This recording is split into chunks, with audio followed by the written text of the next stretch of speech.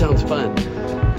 But then you get out here and you go, God, this seems like a really stupid idea.